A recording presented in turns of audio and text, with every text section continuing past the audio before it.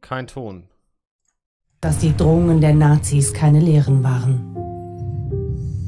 Dass sie meinten, was sie sagten. Wir mussten etwas tun. Wir durften nicht schweigen. Aber wir wussten auch, es kann uns den Kopf kosten.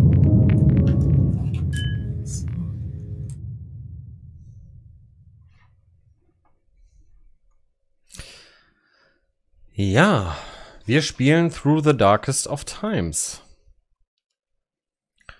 Liebe Menschen.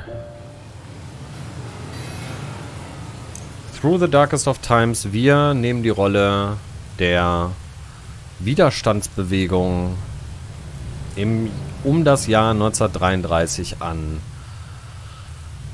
wo Adolf Hitler die Machtergreifung gemacht hat. Wenn ich das nicht äh, ich hoffe, ich habe das einigermaßen äh, auf dem Schirm. So. Und jetzt muss ich uns nochmal hier sichtbar machen. Hallöchen. Da sind wir auch schon wieder. Und gebt mir mal eine Rückmeldung. Ich, es hat nicht so geklappt. Jetzt hat es geklappt. Ähm, ich bin total blind, was das angeht. Ich habe ein bisschen was darüber gelesen. Und äh, ja, es gab äh, äh, es gab eine Ausnahmegenehmigung für Hakenkreuze für dieses Ding, aber mittlerweile hat sich die, Re die Rechtsprechung, was äh, Symbole, also auch was äh, vom, äh, vom Gesetzgeber verbotene Symbole der NS-Zeit angeht, für Computerspiele auch in Deutschland ein klein wenig gelockert, wenn sich das in, einem, äh, in einer kritischen Auseinandersetzung befindet. Da ist nicht Through the Darkest of Times mittlerweile das einzige, sondern es gibt auch einige andere Spiele, äh, die tatsächlich ähm, Nazi-Symboliken zeigen dürfen äh, in Deutschland. Aber die waren auf jeden Fall Vorreiter. Das Spiel ist ungefähr ein Jahr alt, wenn mich nicht alles täuscht. Und ich bin total gespannt. Also ich habe halt nur einmal ganz kurz reingeguckt, um zu gucken, dass unsere Kameras vernünftig sitzen und wir euch nichts verdecken. Aber ähm, wir wollen hier mal schauen, wie das ist. Und ich hoffe, Horsti, du bist nicht enttäuscht, weil du hast vor zwei Streams oder so mal gesagt, du hast äh, da mal reingeguckt. Ähm, aber ich freue mich auch total, mit euch zusammen das zu spielen, aber vor allem auch mit dir, Romi. Andere Seite sitzt du jetzt. Hallo. Stimmt, jetzt ist äh, jetzt nicht mehr so, sondern warte. Ich muss mal ganz kurz parallel gucken, auf welcher Seite du bist. Andere Seite. Andere Seite. Äh, naja, ich übe ja. das noch. Rechts, links. Ich bin auch, äh, um, um, mal zum, um mal zum Spiel zurückzukommen, ich bin auch so ein bisschen aufgeregt. Ich habe am, am Anfang mich nicht gesträubt, das will ich nicht sagen, aber ich war unsicher, inwieweit wir diese Themen auch inhaltlich beleuchten können oder ich inhaltlich beleuchten kann, weil ich äh, glaube, dass es wichtig ist, da an der einen oder anderen Stelle ein bisschen, nee, nicht nur ein bisschen, da auch tatsächlich sensibel zu sein. Und da ich nicht in das Spiel reingeguckt habe, ist es für mich wie möglicherweise für euch auch das ein Sprung ins kalte Wasser. Allerdings habe ich gemerkt, dass als wir For the People gespielt haben, hat es, hat es immer wieder dazu geführt, dass wir in ganz spannende Dialoge miteinander gekommen sind. Mhm. Und sowohl wir, also du, André und ich, als auch äh, äh, diejenigen, die, im, im äh, die das Spiel schon mitgeguckt haben und im Chat mit dabei waren. Und die Macher des Spiels haben, wenn ich mich recht entsinne, also die haben, glaube ich, auch einen Entwicklerpreis bekommen letztes Jahr. Hm. Und die haben auch ähm, gesagt, dass es schon auch das Aufkommen der Trump-Regierung in den USA einer der Auslöser war, dieses Spiel an den Start zu bringen. Und ich finde es total spannend, dass wir das jetzt zusammen machen. Und äh, hoffe, dass wir trotz des Themas irgendwie dennoch ein bisschen Spaß haben. Und äh, freue mich darauf, das mit euch zusammen zu spielen. Ja. Und mit dir. Bin sehr gespannt. Ich weiß nicht, was mich erwartet. Wie gesagt, ich habe nur ge geguckt, dass die Kameras richtig sitzen. Ich habe mich äh, versucht, vollständig äh, ähm, blind zu halten, was, de, äh, was die Inhalte angeht. Also, ein neues Spiel. Puh. Okay, jeder Schritt sollte bedacht werden, da Polizei und Gestapo schnell alarmiert sind. Die Gruppe ist stets am Rande der Auflösung. Es gibt nur einen Speicherstand. Damit sind wir im Widerstand. Oder erlebe die Geschichte des Spiels. Das Spiel äh, verzeiht mehr und die Anzahl der Speicherstände ist nicht limitiert als Erzählung. Also quasi, uh. wir können hier speichern und Dinge ausprobieren und hier ist, jeden Schritt sollte ordentlich bedacht werden. Ich denke, also ich bin ganz stark hier.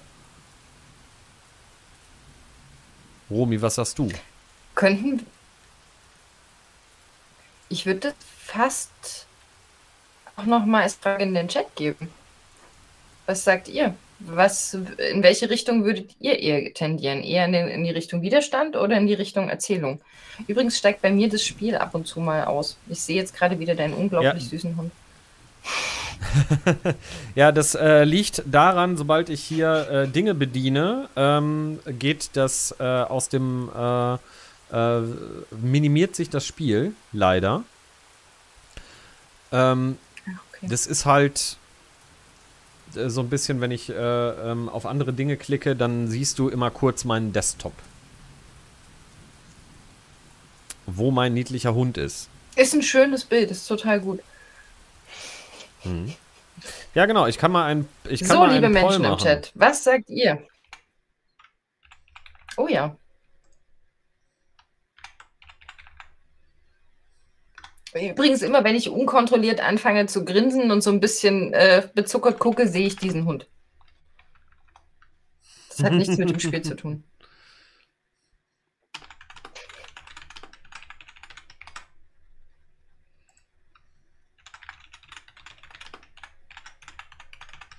schreibe mal Widerstand, Iron Man.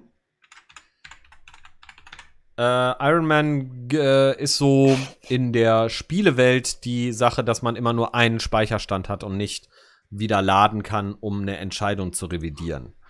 Also, ähm, Umfrage beginnen.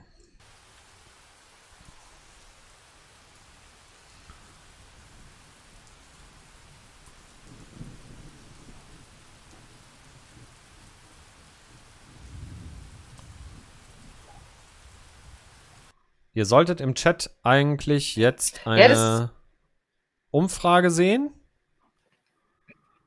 Hoffe ich. Ich finde übrigens auch jetzt schon spannende, spannende Punkte im Chat. Uh, The Real Panzer sagt so, ja klar, wenn, hm, wenn wir über mehrere Streams spielen, wäre es günstig, auch Speicherstände zu haben. Das ist, äh, irgendwie ergibt sich mir das, klar.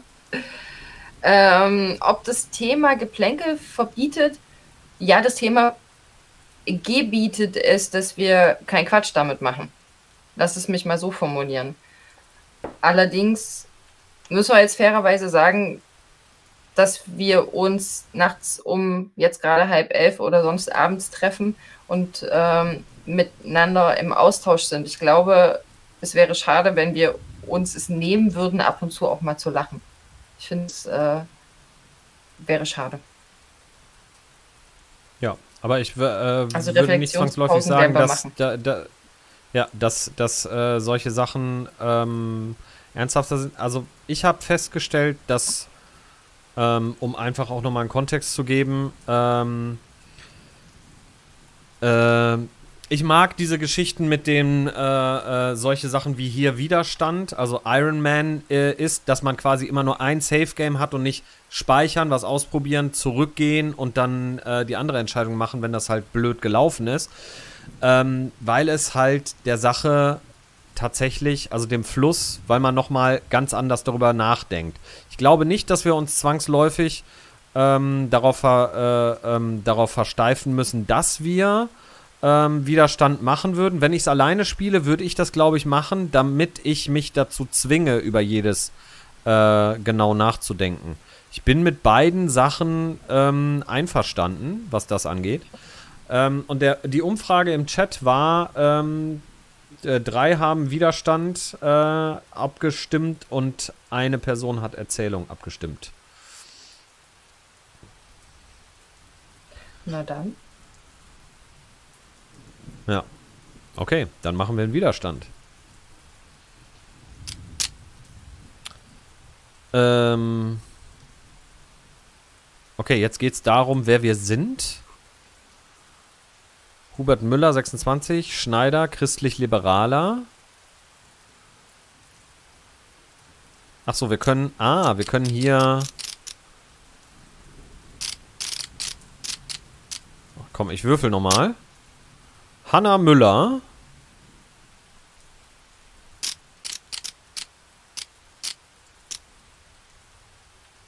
Okay, sie hat keinen Bart. Äh. Das hier ist dann zufällig. Ich äh, würde mal sagen, ähm, wollen wir sie nehmen, äh, Romi, oder nochmal würfeln, bis uns das hier gefällt und dann passen wir das Aussehen an.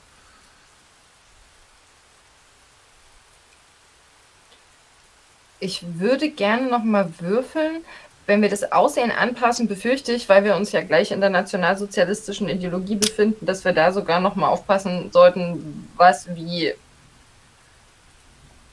also ich würde es Ja. würfeln und äh, auch die, das, die Optik so lassen, wie es uns vorgegeben ist. Okay. Konrad Hoffmann, arbeitsloser Kommunist. Nochmal würfeln oder nicht? Ja, komm, einmal noch. Arthur Kuhn, 30, Diener, Anarchist.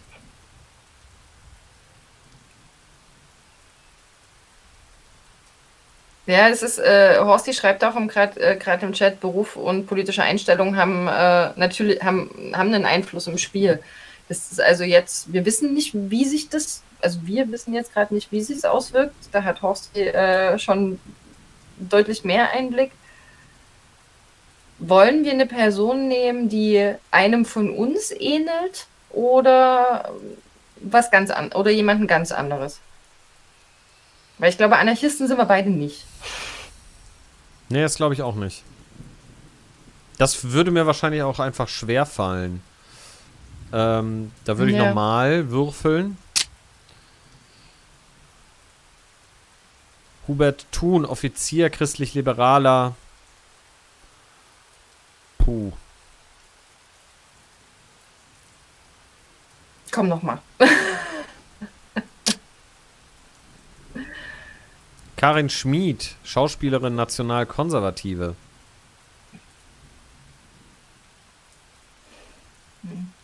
Schon interessant. Ich, ich, also das stelle ich mir auch interessant vor, aus, auch aus unterschiedlichen Gründen. Das Spiel lädt Hm. uns auf jeden Fall ein, irgendwann es noch mal mit anderen Personas zu spielen. Auf jeden Fall, ich würde, ich Wir können ja die Frage mal dazu- anders stellen. Äh, wollen, Ja? hm? Nee, sag du, wozu tendierst du? Äh, Sie zu nehmen. Karin Schmid. Dann lass uns sie nehmen. Wir schweigen nicht, wir sind euer böses Gewissen. Wir lassen euch keine Ruhe. Okay. Kapitel 1. Die Machtergreifung. Haltet das Regime auf.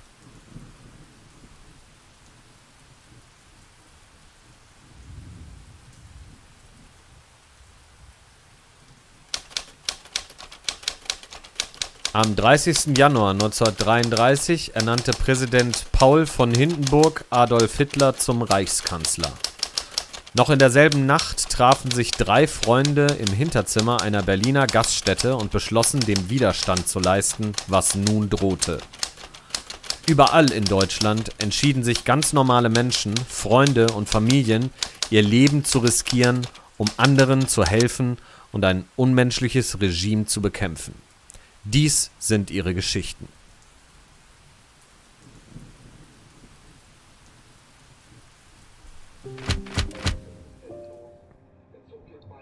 Okay. Volkszeitung, Hitler ist Reichskanzler, Tageblatt Zentrum spricht mit Hitler. Ähm, ich lese auch mal diese Sachen vor, ja? Die konservative Zentrumspartei mhm. lotet die Möglichkeiten einer Zusammenarbeit aus. Nach den Wahlergebnissen wäre ein Rechtskonser eine rechtskonservative Koalition unter Führung von Hitler möglich. Zentrum will Ministerposten besetzen, bis jetzt keine Antwort von Hitler. Reichspräsident Paul von Hindenburg ernennt Adolf Hitler zum Reichskanzler. Linke und Liberale sind am Boden zerstört. Die NSDAP feiert. Hitler schwört auf Recht und Verfassung und dem Wohle aller Deutschen zu dienen. Rundschau. SA marschiert durch Berlin. Zehntausende SA-Braunhemden hielten sich bereit und marschierten nach Hitlers Aufruf mit Fackeln und Fahnen durchs Brandenburger Tor.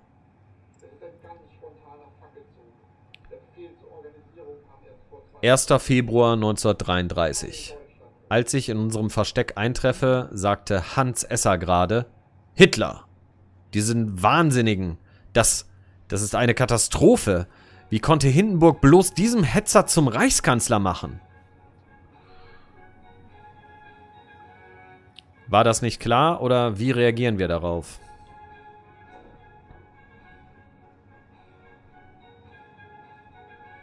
Mm, wir spielen Danke, Horsti, für den Kontext. Ja. Danke, Horsti, mhm. für den Kontext. Wichtig äh, dazu, die NSDAP hatte im Januar 1933 keine absolute Mehrheit. Sie brauchte die Zentrumspartei. Und äh, vielleicht der, der zweite Teil des, äh, des Kontextes, der dazu passt. Ähm, Hitler ist gewählt worden. Also es war eine demokratische ja. Entscheidung, die dazu geführt hat, dass die äh, junge Demokratie kaputt gegangen ist, was wiederum, ihr erinnert euch vielleicht an, ähm, an die letzte Woche Dienstagspolitik im Sinne, wo es darum, wo es um die wehrhafte Demokratie ging. Und ein Element der wehrhaften Demokratie ist, dass beispielsweise die Artikel 21, um die es letzte Woche auch ging, geschützt sind durch die sogenannte Ewigkeitsklausel, Artikel 79.3. Also die kannst du nicht einfach aushebeln. Und das ist eine der, der Lehren aus dieser demokratischen Wahl, die dazu führte, dass ähm, die Weimarer Republik zwar weiter existierte auf dem Papier, auch als Demokratie weiter existierte eine ganze Zeit auf dem Papier, aber eben faktisch keine war. Mhm. Also Hans Esser, Oskar Jansen ist anscheinend, sind anscheinend unsere Freunde, die mit im Widerstand sind. Ja, was antworten wir? Ich Sollen wir in ihre Rolle sch äh, schlüpfen als Nation Nationalkonservative oder nach unserem Ermessen? Ähm, Ich würde aus unserem Ermessen heraus entscheiden, was jetzt nicht unbedingt bedeutet, dass wir nicht uns überlegen können, was sie als Nationalkonservative ja. dazu gesagt hätte. Ähm, und dieses war das nicht klar, glaube ich, war dem einen oder anderen eben nicht klar. Von daher bin ich eher für, wie reagieren wir darauf? Ja, ich auch. Das ist alles schrecklich, aber die eigentliche Frage ist, was unternehmen wir dagegen? Ähm, willst du die andere lesen? Wir brauchen eine... Sch Mach ich. Ich wollte direkt anfangen. Äh, wir brauchen eine spektakuläre Aktion. Es muss so laut knallen, dass die Leute davon aufwachen. Und zwar jetzt, wo es zu spät ist. So weit sind wir noch nicht, kontert Hans Esser. Was fehlt noch? Wir haben keine Zeit.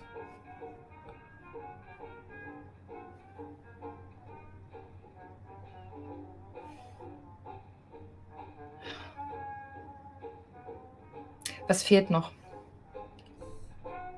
Ja. Möchte den Einwand nicht einfach abtun. Ja. Was fehlt uns denn? Bevor wir Aufmerksamkeit erregen, müssen wir uns, müssen uns mehr Menschen unterstützen.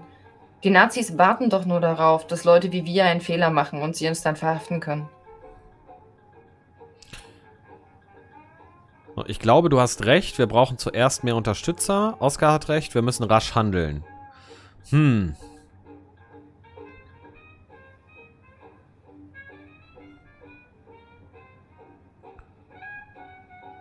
Tja. Aus dem Bauch raus würde ich sagen, wir brauchen mehr Unterstützer. Ich hätte aus dem Bauch raus gesagt, wir müssen rasch handeln.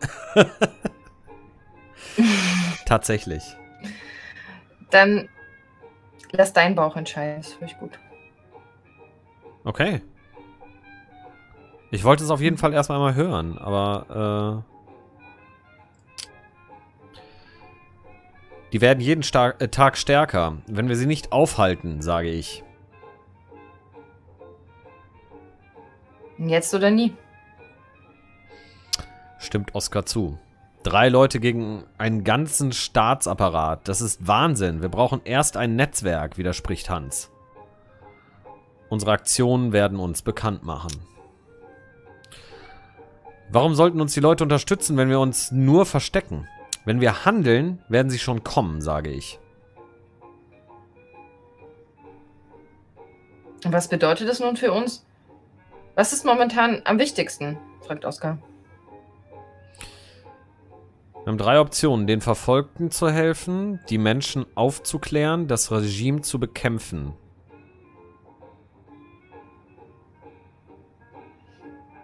Also bei dem, bei dem Regime bekämpfen, da würde ich nochmal äh, oben hingucken, so dieses äh, drei Leute gegen den ganzen Staatsapparat. Das gleiche Ja. gilt bei äh, die Menschen aufklären. Insofern wäre ich eher bei den Verfolgten zu helfen. Denen würde ich auch auf jeden Fall folgen, also den Verfolgten zu helfen. Die Menschen, die verfolgt werden, brauchen jetzt unsere Hilfe, sage ich. Ende der Szene. Moral plus 5, Spiel gespeichert. Okay. Äh.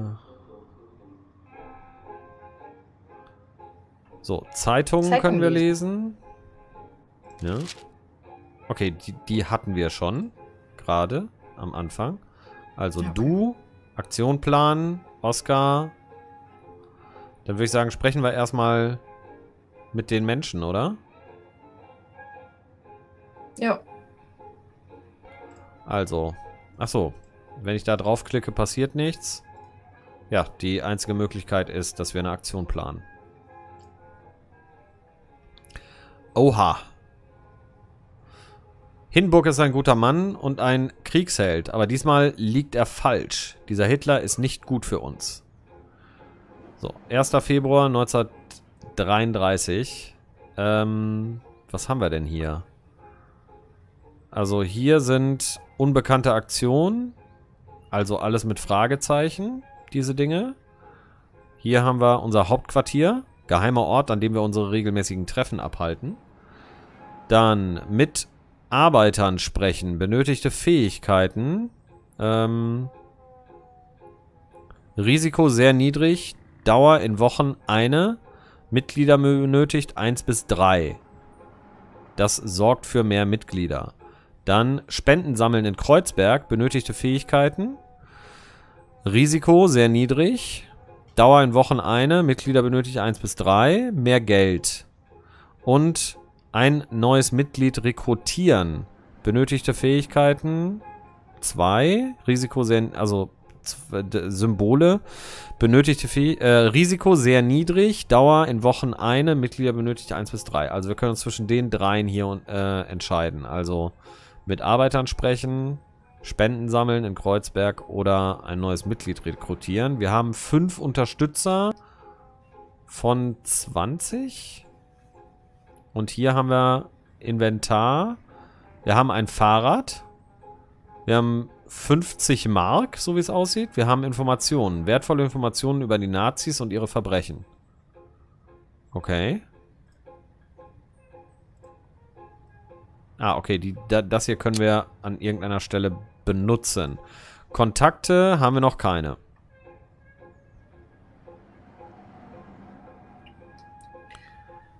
Puh, na, ich glaube, also ich wäre bei, äh, bei Geld sammeln, weil wenn wir die Verfolgten unterstützen wollen, müssen wir irgendwie gucken, dass wir eine Infrastruktur herstellen,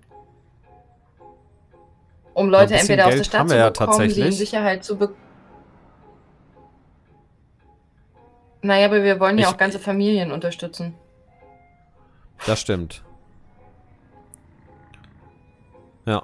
Ah, hier unten sehen wir die verschiedenen, äh, die verschiedenen äh, Sachen. Also wenn ich mal über äh, Schauspielerin, ähm, Geheimhaltung 4, Empathie 2, Propaganda 3, Stärke 1, Allgemeinwissen 2. Ähm, achso, das steht hier unten auch. Geheimhaltung, Empathie und Propaganda. 4, 2, 3, da 2, 2, 4 bei Stärke und ja.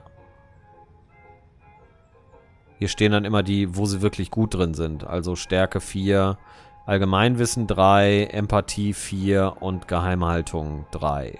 Das heißt, wir brauchen hier, brauchen wir Empathie und Propaganda. Das hätten wir. Hier brauchen wir Empathie und Propaganda, hätten wir auch. Und hier brauchen wir Geheimhaltung und Empathie. Hätten wir auch.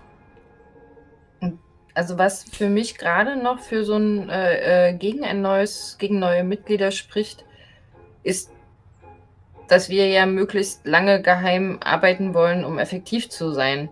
Und je mehr Leute daran beteiligt sind, desto höher natürlich die Gefahr, dass es schief geht. Insofern mhm. wäre bleib, also bin ich immer noch bei Finanzierung, dann mit Arbeitern sprechen und dann das Mitglied rekrutieren. Das wäre gerade so in meinem Kopf die Reihenfolge. Es kann aber auch Quatsch sein.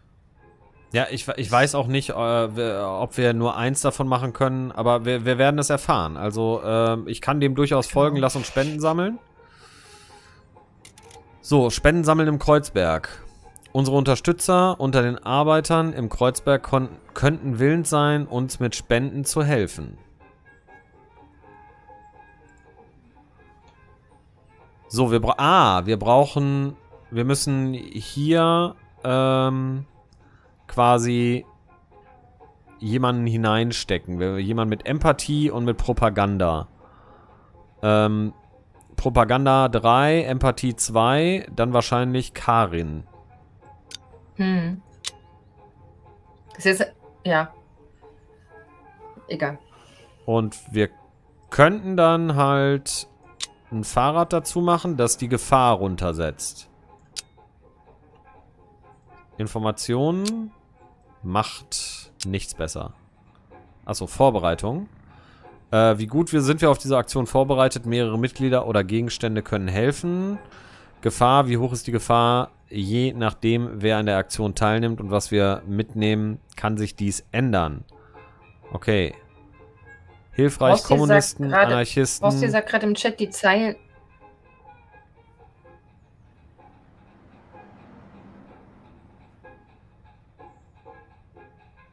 Die Zeilen wo runterlesen? Mhm. Unter der Gefahr, das, was ich gerade gemacht habe, nehme ich an. Ansonsten korrigiere mich gerne. Ähm. Ja, okay. Ja, mit hilfreich und schädlich. Ähm.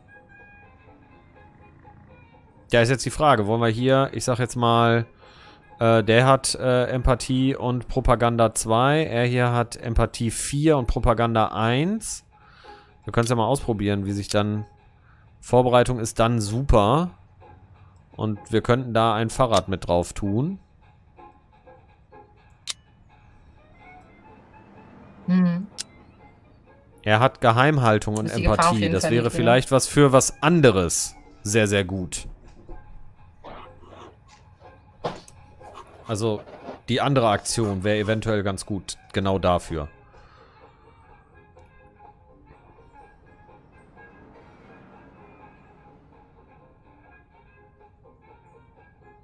Ja, das können wir auch machen. Also ich äh, bin gerade auch noch so ein bisschen, das muss ich ganz ehrlich sagen, noch so ein bisschen gefleckt und muss mich gerade auch hier erstmal kurz zurechtfinden. Okay, ja, das, also ähm, genau, wir müssen Personen zuordnen. Wir haben Inventar, ähm, was wir mitnehmen können. Ähm, hilfreich sind bestimmte Ausrichtungen. Ähm, also Kommunisten, Anarchisten, Sozialdemokraten, Arbeiter oder Idealisten. Ähm, sie ist nationalkonservative, das hilft, das heißt, das hilft zwangsläufig nicht. Moderater, liberaler und nationalkonservativer. Mhm. Aber wenn wir die beiden einsetzen, dann... Oh, Nationalkonservative ist schädlich. Dann lass uns die da rausnehmen.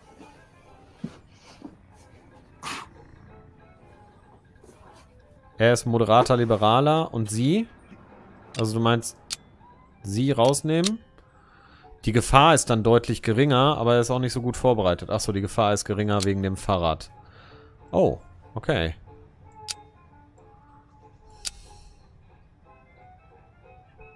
Wenn wir ihn noch mit wenn dabei nehmen. Ah, er ist auch, er ist, er ist auch nationalkonservativer.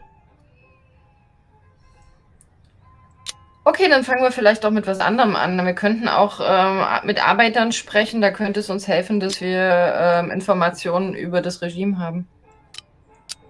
Das hilft uns tatsächlich hier auch. Gibt uns ein bisschen Gefahr, aber auch Vorbereitung.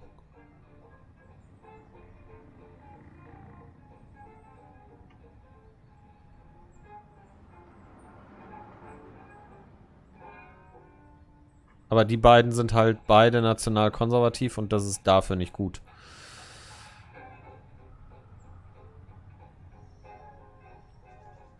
Nein, wir können es, wie gesagt, auch andersrum aufziehen, dass wir erst mit Arbeitern reden, dann versuchen wir noch jemanden zu rekrutieren aus dem Arbeiterkreis und gucken dann.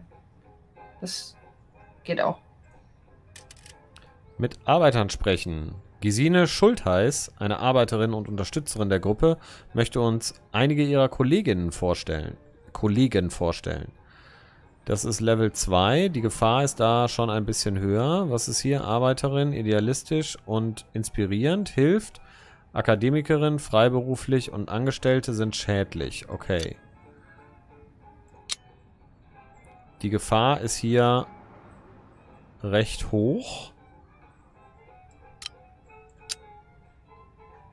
Wenn wir da ein Fahrrad mit beigeben, ist schon ein bisschen höher. Bringt 6 bis 8 UnterstützerInnen.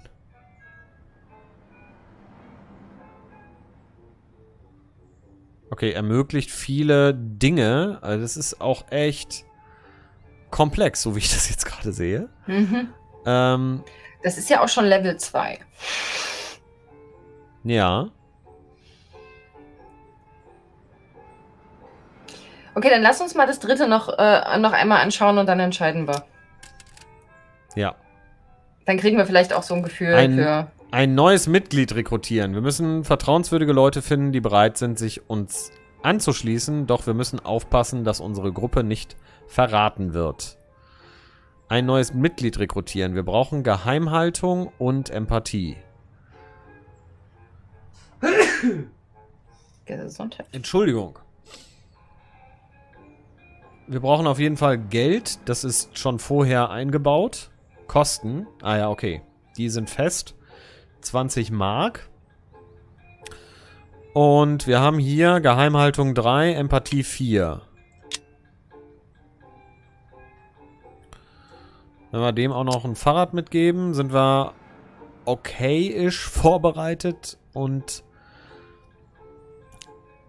Okay, Karin hat halt auch viel Geheimhaltung und etwas Empathie. Bräuchten wir eventuell sogar das Fahrrad nicht. Aber so sind wir voll auf grün. Ja, komm, dann lass uns das machen. Wir müssen irgendwo anfangen. Okay. Dann weisen wir das zu. Äh, da sind äh, wir dabei. Jetzt würde ich gerade nochmal bei der Spendensammlung gucken und ihn dahin tun. Vorbereitung ist gut und die Gefahr ist relativ gering. Wenn wir noch Informationen mit beitun, wird beides grün. Ich weiß nicht, ob wir das dann verlieren. Hilft, wenn wir... So. Geld können wir ihm nicht geben. Weiß jetzt nicht, ob das einmal Use ist oder ob wir das wiederbekommen.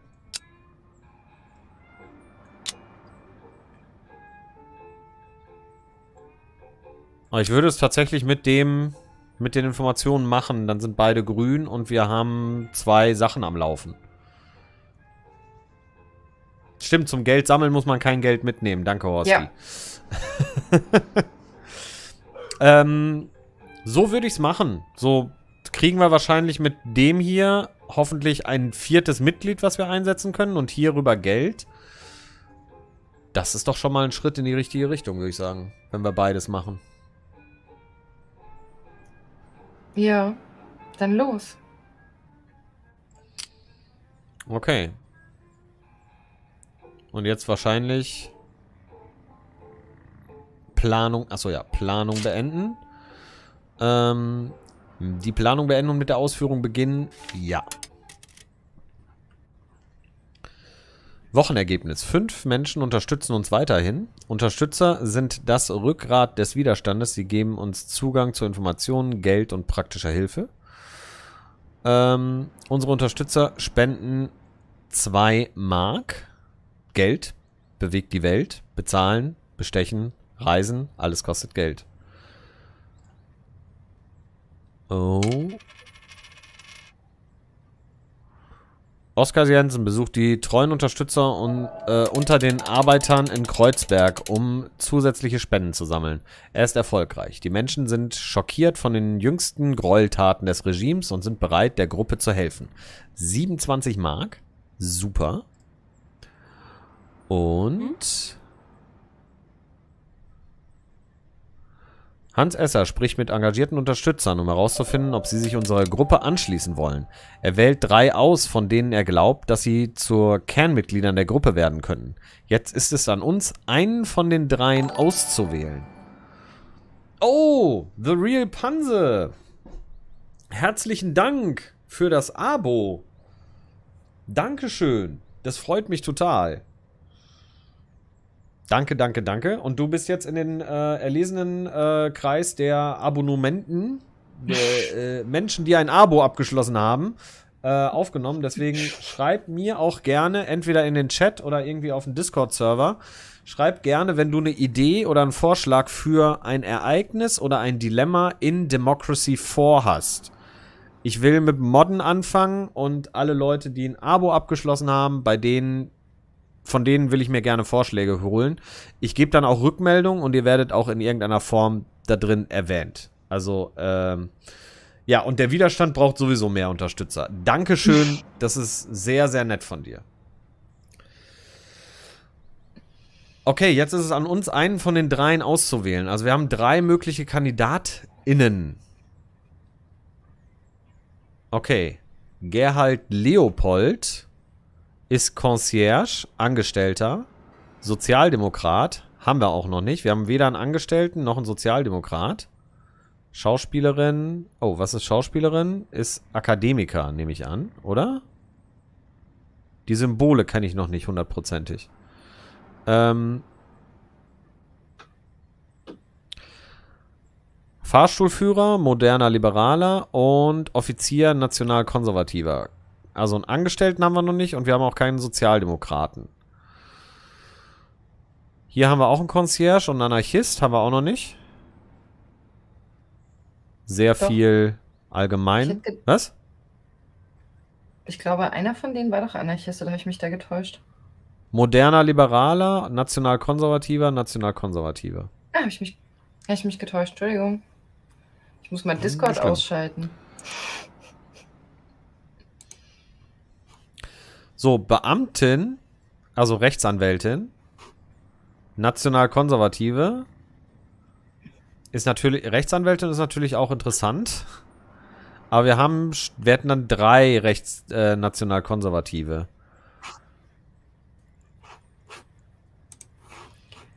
Hm, ich, ich könnte mir gut vorstellen, einen von den, einen von den Concierges zu nehmen weil mhm. die einfach immer gut informiert sind. Also die fallen nicht auf, die sind da, ja. ähm, haben wahrscheinlich ihre Augen und Ohren überall. Das, auch wenn ich die Rechtsanwältin auch gut finden würde, aber für den, für, für jetzt fände ich, glaube würde ich einen Concierge besser finden. Weiß nicht, wie siehst du das? Ja. Ja, sehe ich, sehe ich ähnlich.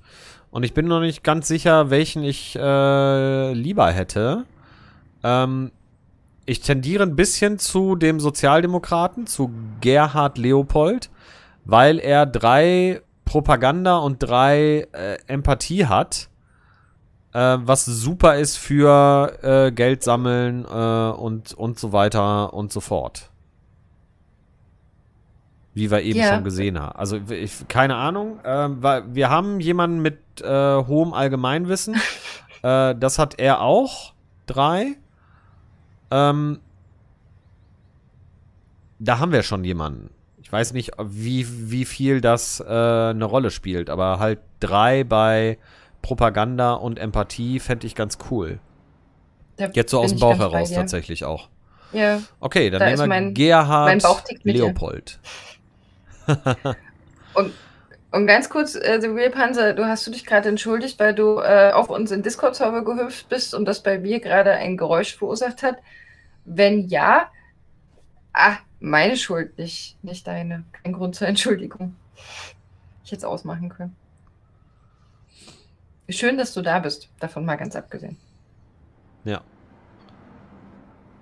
Ah, Schultheiß ist übrigens die Brauereifamilie aus Lichtenberg. Äh, stimmt, Horsti. Richtig.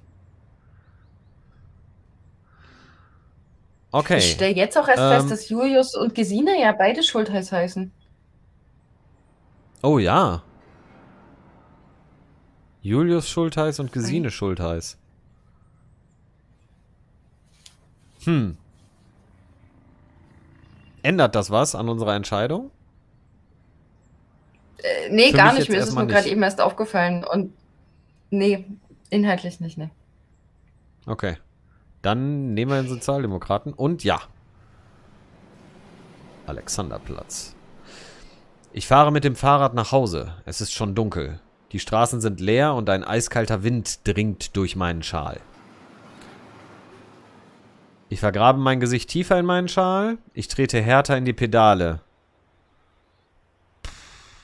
Also ich, ich ganz persönlich würde eher mein Gesicht wahrscheinlich tiefer in den Schal graben.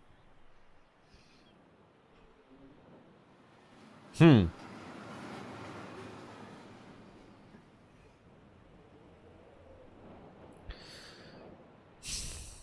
Ich weiß nicht. Ich würde härter in die Pedale treten, tatsächlich. Aber, äh, Ja, komm, dann lass uns hart in die Pedale treten, dann wird's warm. okay. Ich trete härter in die Pedale und fahre auf den Alexanderplatz. In der Ferne steht eine Gruppe von Männern, die jemanden bedrängen und anschreien.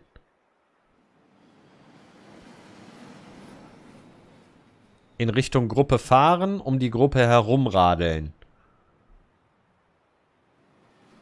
Also von meiner, Mhm. von, von meiner äh, Warte aus äh, hätte ich jetzt gesagt, um Gottes Willen, wir haben gerade angefangen, im Geheimen zu operieren. Mh, noch, noch tun wir quasi nichts, außer uns zu entscheiden, ob wir genauer hingucken oder nicht. Und aus dem Grund würd, würde ich in Richtung der Gruppe fahren. Ich vermute, die Frage nach dem schreiten wir ein oder nicht, wird sich noch stellen. Okay. Drei Männer, die die braunen Hemden und die Hakenkreuzarmbinden der SA tragen, haben einen alten Mann umstellt. Vom Fahrrad steigen und näher herangehen, umdrehen und nach Hause fahren.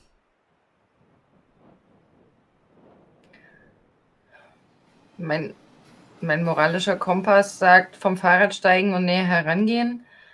Aber dann sind wir bei dem, was du gerade gesagt hast. Oh mein Gott, wir haben gerade eine geheime Gruppe gegründet, die nicht auffallen darf. Oh. Ich wusste, Ja, warum ich ein bisschen äh, aufgeregt war, dieses Spiel zu spielen. Ich hätte jetzt aber gesagt, ja, aber ich will noch mal hören, was da los ist. Ja, wir wollen Menschen helfen, Genau. das ist richtig, Horsti. Das ist Also genau vom Fahrrad steigen Punkt. und näher rangehen. Ja, Drecksjude, schreit einer. Er tritt vor und stößt den alten Mann so fest, dass er zu Boden fällt. Auf die Gruppe zueilen, vorsichtig der Gruppe nähern, umdrehen und nach Hause fahren.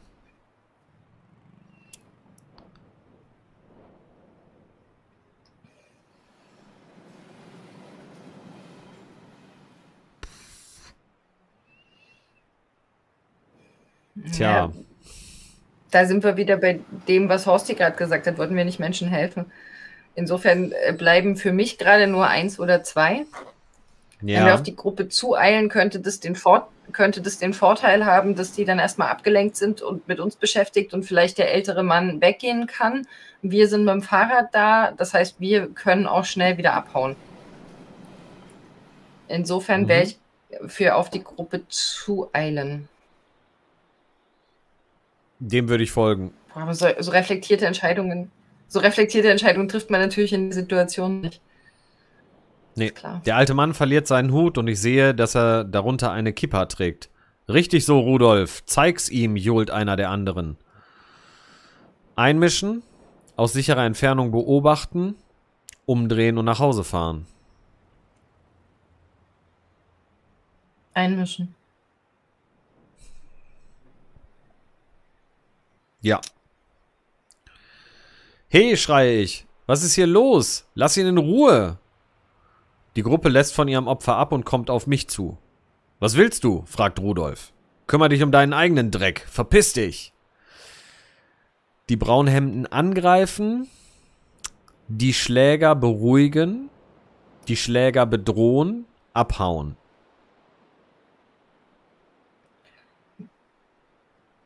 Was sagt dein Bauch? Immerhin haben sie abgelassen jetzt. Mhm. Also die bedrohen und angreifen, äh, die sind zu dritt. Wir sind da alleine. Insofern abhauen ist keine Option. Den Schläger beruhigen. Ja, hätte ich auch gesagt. Kommt schon, kein Grund, sich so aufzuregen. Habt ihr nicht Grund zu feiern? Was soll das hier? Während ich mit der Gruppe rede, steht der alte Mann vorsichtig auf und schleicht davon.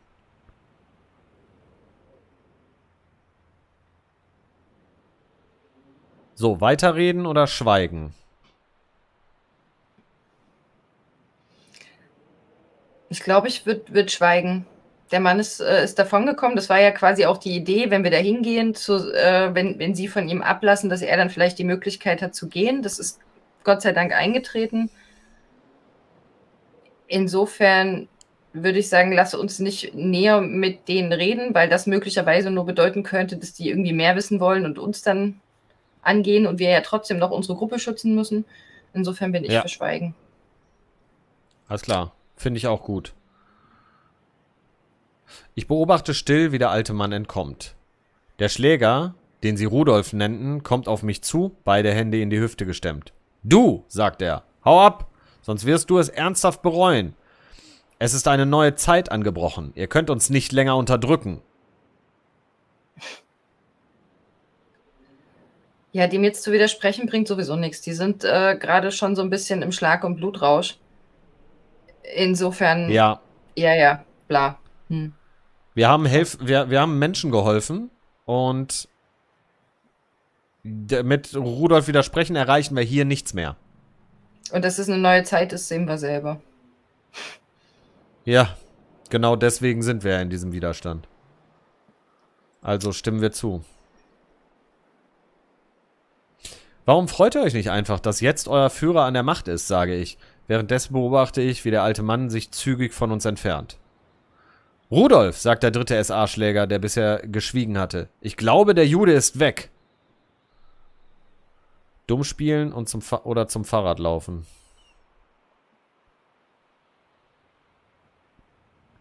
Ja, würde ich, glaube ich, dumm spielen, einfach um sie noch so ein bisschen Ja. abzulenken. Weil wenn wir jetzt aufs Fahrrad steigen, haben sie ja noch ein bisschen Zeit, aber so sind sie irgendwie noch in der Interaktion mit uns. Ja, Und und, da sind wir äh, bei dem, was- jetzt plötzlich zum Fahrrad zu laufen, wir sind, wir sind ja nur hingegangen und haben, ey, was soll denn das? Also, Ja, ne? Also, ja. finde ich auch. Ähm, was meinst du damit, frage ich. Die Schläger realisieren nun, dass ihr Opfer tatsächlich davongekommen ist. Zum Fahrrad laufen, zum Fahrrad schleichen. ja. Aus der gleichen Argumentation heraus würde ich, glaube ich, zum Fahrrad schleichen. Oder? Ich weiß nicht. Okay. Äh, puh. Also Zum wenn wir Fahrrad jetzt schleichen. laufen, also ich weiß Ja. gerade nicht, ob mit, mit diesem zum Fahrrad laufen quasi das Rennen gemeint ist oder wir laufen ganz äh, mehr oder weniger angespannt, entspannt zu unserem Fahrrad in einer ruhigen Geschwindigkeit. Kann, ich weiß gerade nicht, was mit dem Laufen Nee. gemeint ist. Ja, ich glaube nicht, dass das in einer ruhigen Geschwindigkeit ist. Das, Ich hätte jetzt gesagt, auch zum Fahrrad schleichen. Ja. ja. Halt, schreit Rudolf. Halt! Dafür wirst du büßen. Still verschwinden. Ja. Braunhemmen laut auslachen und die Braunhemmen beleidigen. Völlig Nee. kontraproduktiv, glaube ich. Ja. Also still verschwimmen. Ohne ein Wort wende ich, mein, äh, wende ich mein Fahrrad und trete so schnell ich kann in die Pedale. Es, erst als ich ihre wütenden Stimmen nicht mehr hören kann, werde ich langsamer. Muss ich mich an solche Szenen gewöhnen? An so etwas werde ich mich nie gewöhnen. An so etwas werde ich mich nie gewöhnen. Ja, bei mir auch. An so etwas werde ich mich nie gewöhnen. Ende der Szene. Wöchentlicher Verlust, Moral minus 10. Wöchentlicher Verlust minus 10. Ach, wir verlieren wöchentlich 10 Moral. Wir haben Aktionen gemacht für plus 6 und Ereignisse plus 5. Insgesamt plus 1. Uh. Unterstützer, wöchentlicher Verlust 0, Aktionen 0, Ereignisse 0. Okay.